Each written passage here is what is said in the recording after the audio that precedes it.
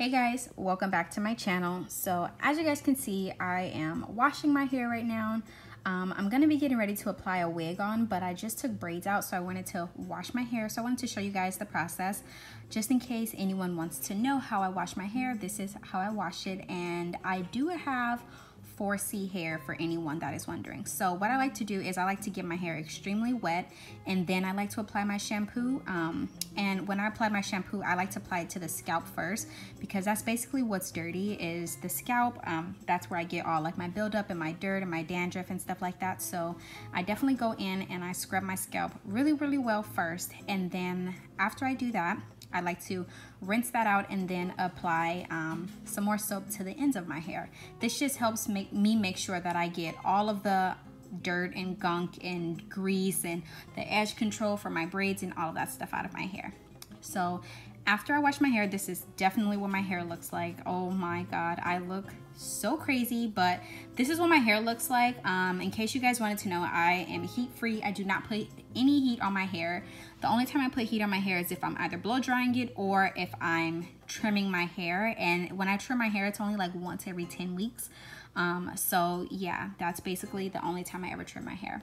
Um, right here, I'm going and applying my hair into sections. I like to work in sections when I'm blow drying my hair. It's just a lot easier for me because my hair is so tangled a lot of the times and because my curl pattern, just the way it is, I like to section it off. It just helps me a little bit better. So I like to apply this Bond Repair to my ends by Caviar. Um, I like to apply this to my ends just because I feel like it helps my ends, um, especially with me putting heat on my hair. It helps keep my ends healthy and not be so brittle and break off. So I like to apply a little bit of oil to the ends of my hair. And for my blow dryer, I'm gonna be using the Paul Mitchell blow dryer, but the attachment, guys, when I tell you, if you have 4C hair like me, you have a hard time getting your hair straight, use this blow drying attachment. It works wonders. Like, look at that. Look at the way that, look at how straight my hair is. Like, you don't even need to press it. All you have to do is go in with the straightener. It's so bone straight. Like, it's ridiculous. I love this. You can get it on Amazon. I got mine at my local beauty supply, but apparently they don't sell them anymore. So yeah, this ugh, this blow drying attachment is like the bomb.com. It really gets my hair so, so, so, so, so straight right here i'm just sectioning it. Like i said i like to work in sections. I don't know what happened right there but it's super short and i'm like what the heck? Um, but i like to work in sections so i'm gonna section that off. I already applied my oil and then i'm just going to blow dry it but yeah this blow dryer is the bomb it's not even the blow dryer it's the blow drying attachment when i tell you this blow drying attachment makes it so much easier to blow dry my hair i would always like cry and be like so annoyed with having to get my hair done as a kid or even now because it is just so much work and it's so hard. Um, but this method has made it easier, especially because the blow drying attachment, as you guys can see, it has um, metal on the inside. So the metal acts as a straightener. So it is putting tension on the hair and straightening the hair a little bit more with the metal inserts on the inside. So that's why I like this one specifically. I know there's one that has like the red plastic um, tension combs on the inside, but I much prefer the metal just because I feel like it works a little bit better and it's a little bit easier to deal with. Um, so yeah, that's what I like to do. And it has made the process so, so, so, so, so much easier that is my dog in the background crying. if you guys hear any noise, that is her crying. I just got her like a week and a half ago. She's eight weeks old. Um, so yeah, after it's all blow dried, I like to take the attachment off and just use it just like this and just um, make sure that my scalp is dry because when my scalp is dry, it just works a little bit better. And sometimes I don't wanna keep going in with the heat, going through every piece of strand and hair. So I just take this and just go through it with the scalp um, to make sure that my scalp is dry because majority of the times that's the last thing that dries is my scalp. So that's basically what I'm doing right here. And then I like to, um, since I'm going to be applying a wig, I'm going to be braiding it. So again, sectioning it. I'm only going to do four braids. I used to do like the super small braids and all that stuff, but I realized I don't like wear my wigs for a long time and doing the super small braids is just a waste of my time. So I just like to do these flat braids. Um, they work just as well. My hair is just as flat. So that's why I like to do this. It's the same exact method. It works fine. If you're the type of person that likes to wear your wigs for a long time, doing the smaller braids might work for you. So you can try that, but this is what it looks like when I'm all done with my braids. Just very simple, easy peasy. Um, and then I'm gonna go ahead and apply my wig cap. Now, this method that I'm doing today is just something very simple, very easy. You can take this off at the end of the day if you wanted to. Um, this is just like I'm going out for the day, but I want to take my wig off when I get back home. So that's basically what I'm doing. Just fitting it to my head, seeing how I like it and where I want to apply my glue and all that stuff. And definitely combing it out because she has been sitting for maybe a little bit more than a month. So you definitely want to make sure you comb it out and add some oil before you start combing it out. That way it's not so tangled. This hair is so bomb. So I'm just gonna take it and I'm gonna apply some clips just to keep it up out of my way while I do the glue. So that's why I like to do the clips. It just helps, you know, just helps keeps the hair out of my way and out of my face. I'm gonna pull my wig cap down. Um, yeah, let me know if you guys wanna see an updated in-depth tutorial on how I apply my wigs with the wig cap method. I do have one. I will leave it linked somewhere in the description for you guys. Um, so in case you guys wanna see that, or if you guys want an updated one, make sure you guys let me know.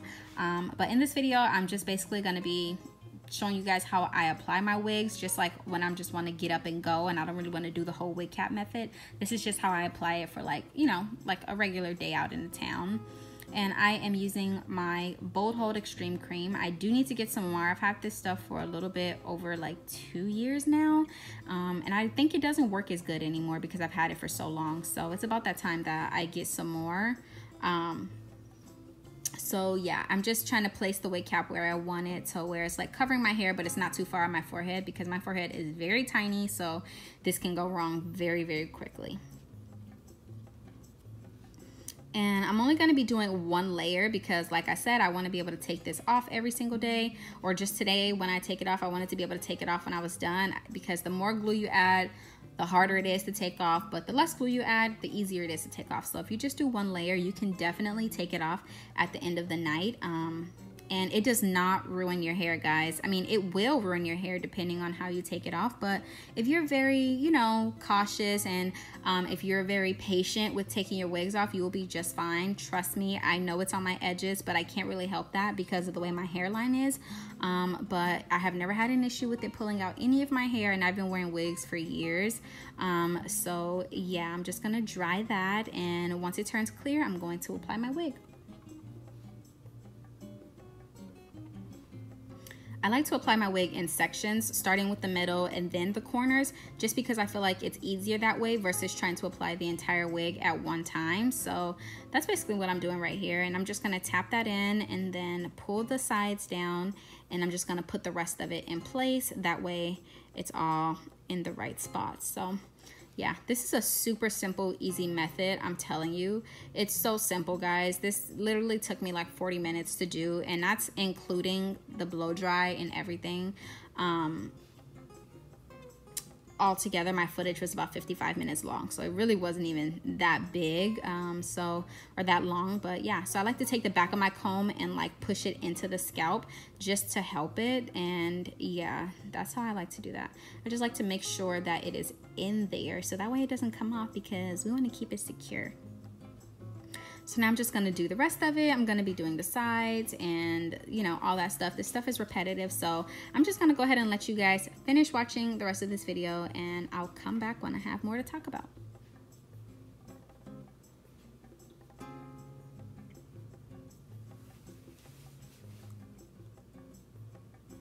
The end the sides of my ears where the ears are that was a lot harder to do. That's always the part that I need to work the most on um, but yeah so it's you have to make sure that you're very cautious when you do that and make sure you're adding enough glue and that you're putting enough pressure to lay your edges down and the sides down.